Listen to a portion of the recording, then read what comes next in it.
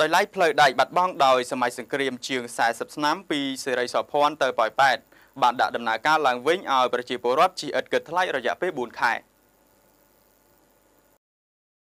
ខ្សែរថភ្លើងដឹកអ្នកដំណើរពីប៉ោយប៉ែតទៅសេរីសោភ័ណ្ឌនិងត្រឡប់ពីសេរីសោភ័ណ្ឌមកប៉ោយប៉ែតដែលខកខានដំណើរការរយៈពេលជាង40ឆ្នាំដោយសារភ្លើងសង្គ្រាមដ៏រ៉ាំរ៉ៃនោះត្រូវបានបើកឲ្យដំណើរការជាផ្លូវការឡើងវិញហើយនៅព្រឹកថ្ងៃទី4ខែមេសាឆ្នាំ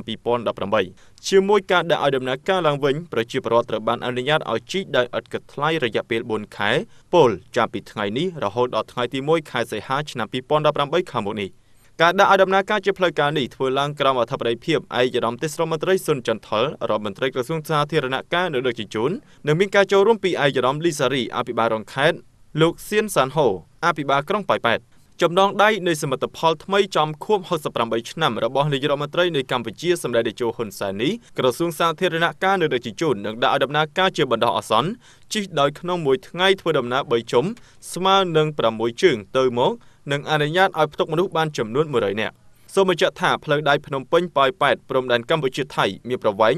386គីឡូម៉ែត្រត្រូវបានសាងសង់ឡើងអំឡុងឆ្នាំ1929ដល់ឆ្នាំ1942ជាអកុសលផ្លូវដែកពីសេរីសោភ័ណ្ឌប៉ោយប៉ែតត្រូវបំផ្លិចបំផ្លាញនិងកាត់ផ្តាច់ទាំងស្រុងដោយសារការទម្លាក់គ្រាប់បែកនាឆ្នាំ1973ក្នុងសម័យលន់នល់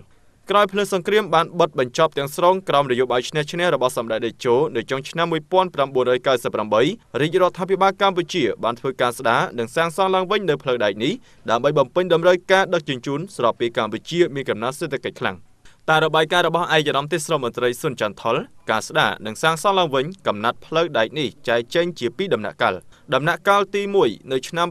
2009រាជរដ្ឋាភិបាលកម្ពុជាបានធ្វើការស្ដារនិងសាងសង់ផ្លូវដែកនេះឡើងវិញប្រវែង42គីឡូម៉ែត្រចំណាយថវិកាអស់13លានដុល្លារអាមេរិកក្រោមអនុទាន ADB ដំណាក់កាលទី2នៅឆ្នាំ2015រាជរដ្ឋាភិបាលកម្ពុជាបានធ្វើការស្ដារនិងសាងសង់ផ្លូវដែកនេះម្ដងទៀត។ ដែលក្នុងនោះបានធ្វើការតភ្ជាប់ផ្លូវដែកកម្ពុជាថៃប្រវែង6.5គីឡូម៉ែត្រនិងពង្រីកផ្លូវដែកស្ពានថែមទាំងមានបំពាក់ផ្លាកសញ្ញាសវត្ថិភាពស្វ័យប្រវត្តិនិងធ្វើផ្លូវឆ្លងកាត់ផងដែរ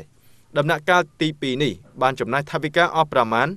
8.6លានដុល្លារអាមេរិកដែលជាថវិកាជាតិឯកឧត្តមសុនចន្ទថោថ្លែងថាផ្លូវដែកដែលស្ដារនិងសាងសង់ថ្មីនេះផ្ដោតសំខាន់ដល់ការដឹកជញ្ជូនគ្រប់រូបភាពការធ្វើសមរណកម្មផ្ទៃក្នុង ជាពិសេសគឺធ្វើសមត្ថកម្មក្នុងតំបន់ដោយតភ្ជាប់ផ្លូវដែកកម្ពុជាទៅកាន់ផ្លូវដែកក្នុងតំបន់អាស៊ាន។